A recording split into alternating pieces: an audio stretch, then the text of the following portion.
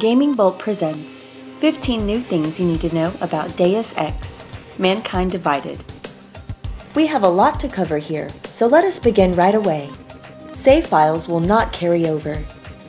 While Deus Ex Human Revolution game with the story that progressed based on the choices you made throughout the game, its sequel, Mankind Divided will not allow players to import their save files.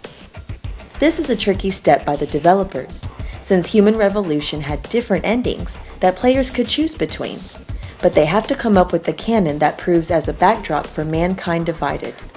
According to this canon, there are conflicting reports about the AUG incident, the climax of Human Revolution, and that no one really knows what exactly happened. It'll be interesting to see how Mankind Divided handles this, especially considering the fact that the protagonist in both the games is the same. Improved boss battles. One of the major criticisms leveled at Deus Ex Human Revolution was that its boss fights were poorly designed and simply did not match up with the consistently high quality of the rest of the game.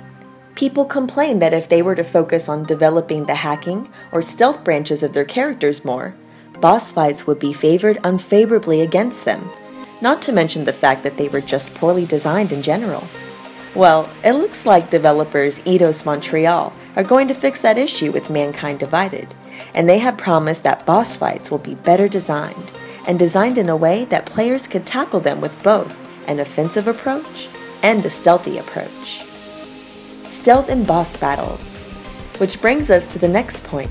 Unlike in Human Revolution, Deus Ex Mankind Divided will allow players to complete the entirety of the game without ever killing anyone and that includes bosses. Yes, players will not have to kill bosses to defeat them, and will have the option to take them down using stealth. It'll be interesting to see how the boss designs permit that, as well as the regular combat scenarios. Not to mention whether or not those two separate approaches will have any effect on the story. Remote hacking. Hacking played a major role in Human Revolution, and it'll be an equally integral part of the gameplay in Mankind Divided. However, Adam Jensen will now no longer have to physically walk over to a terminal or a computer to hack it. Instead, players will now be able to hack electronics manually, from door locks to cameras to drones. Players will have the ability to hack anything they want from distances, once they have the augmentations required. It remains to be seen if this will maybe make the players a bit overpowered, but hopefully the game will find a way to keep the balance intact a more mobile Adam Jensen. Well, sure, Adam Jensen is practically half robot, at least, but it looks like that he will be a much nimbler and more mobile vessel for the players in Mankind Divided. I mean, sure he won't be an Altair, but with the help of new augmentations, players will have much better mobility in Deus Ex game. One specific augmentation, for example, known as the Icarus Dash, will allow players to essentially teleport much like Corvo's ability in Dishonored.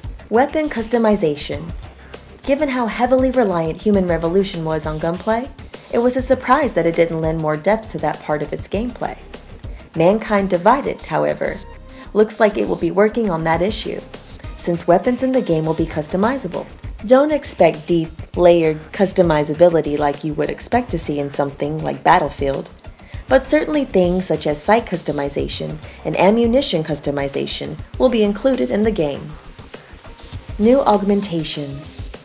Augmentations are, of course, the centerpiece of the Deus Ex experience, as Human Revolution showcased only too well, and we can't wait to see what kinds of new augmentations Mankind Divided will bring our way.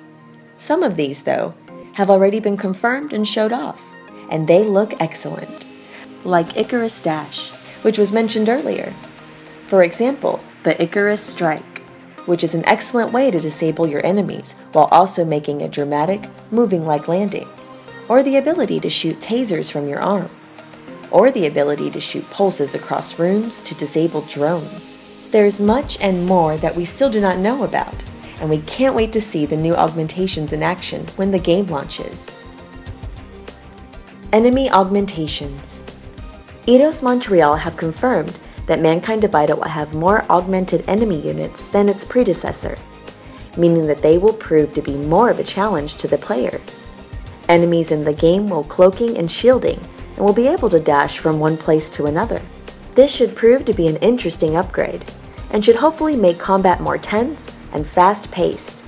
What's more, cloaked enemies who can dash between locations quickly should prove to be tricky in stealth scenarios. Superman Punch You know how a lot of players complain Human Revolution sometimes punished them for going the lethal route? Yeah, well, Eidos Montreal heard you.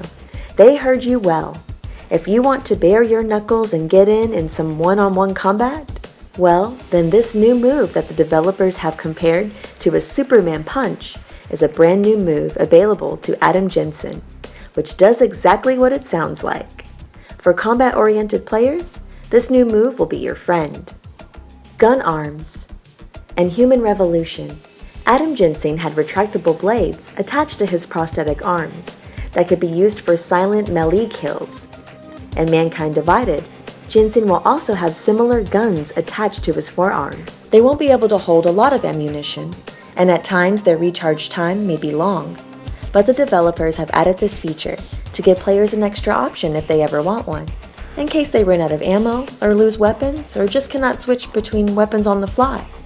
This should definitely improve the pacing of the combat. Battle Rifle Deus Ex has always had imaginative weapons, Given the excellent cyberpunk setting, it makes sense that it would. So it should come as no surprise that with Mankind Divided, developers Eidos Montreal will be looking to add more weapons to the Deus Ex arsenal. The battle rifle is one such new weapon, and while not much is known about it, players will appreciate all the firepower that they can get. Truth, Choice, and Consequence The developers from Eidos Montreal have admitted that choices in Human Revolution did not always carry a lot of weight, and they intend to tackle that issue in this game, and have also claimed that the ending of the game will be accumulation of the choices we make throughout the narrative, not just a simplistic final moment that boils down to giving us the choice of pressing one or two or three buttons. Meaningful side quests. Side quests are the bane of most RPGs, Tried side quest objectives, which usually devolve into collectathons, have been the bane of most RPG players' existences for years now. Ex, Mankind Divided, however, shall be attempting to sidestep this trend. The developers are promising that they have made side quests with meaningful objectives that will involve moral choices and introduce players to new characters. Hopefully these side quests will integrate with the larger game in a meaningful way. Breach Mode Deus Ex Mankind Divided will offer more than just the campaign in the form of the quasi multiplayer breach mode. This will essentially throw players into different maps, though not as Adam Jensen, littered with defenses that you will have to get through using your augmentations and weapons and what you have, all of which you will begin before selecting your map in the form of a loadout. Breach mode will also include online leaderboards and score challenges. While it doesn't sound like a complex new mode, it might prove to be a fun distraction that can help players take a break from the campaign if they should ever feel the need to just want to jump into the core of the action without having to worry about the narrative.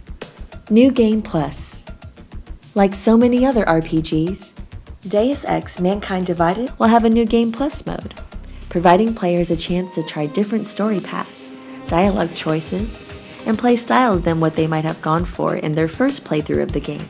What all will be carried over from your save into the New Game Plus, however, is currently unknown.